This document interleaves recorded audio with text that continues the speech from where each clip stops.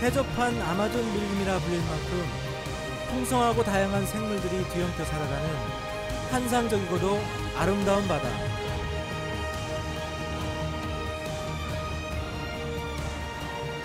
아직까지 알려지지 않은 해양 생물들이 수도 없이 발견되고 아직 탐험되지 않은 것들도 많은 미지의 세상입니다.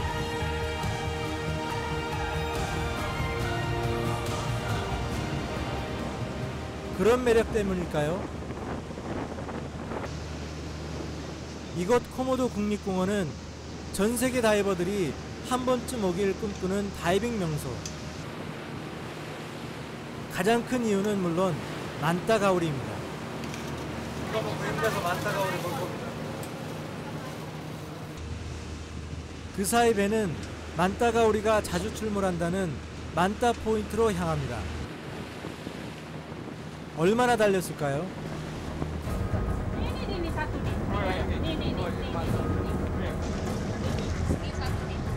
정말 사실일까요? 일단 형체는 비슷합니다. 안따가 우리 꼭 보고 오겠습니다. 기다려주세요.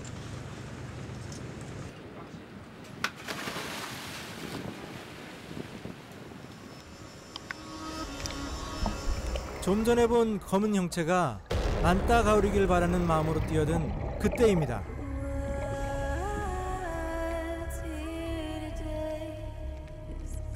아쉽게도 만따 가오리가 아닙니다.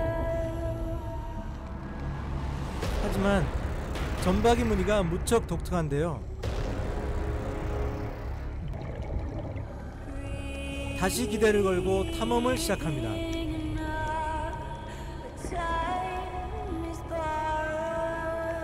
잠시 후 보면서도 믿기지 않는 장면이 눈앞에 펼쳐집니다.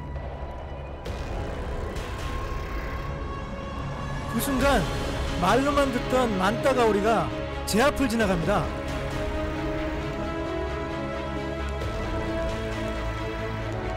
가오리 중 가장 크다고 알려진 만따 가오리는 날개 길이가 7m까지 되고 꼬리에 독침을 가지고 있는 무시무시한 녀석. 하지만 성격은 온순하다고 알려져 있는데요.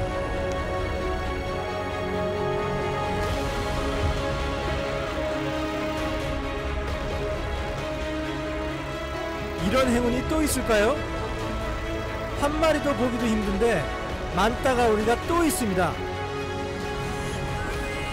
녀석과 같은 공간에 있다는 사실이 도무지 믿기지 않습니다. 마치 꿈 같습니다. 와, 맞다 있어. 맞다 봤어요. 와, 엄청나게 커요. 엄청나게. 와, 그러니까 몇 마리인지 모르겠는데 한열 마리 정도 본것 같아. 이게 엄청나게 많아요.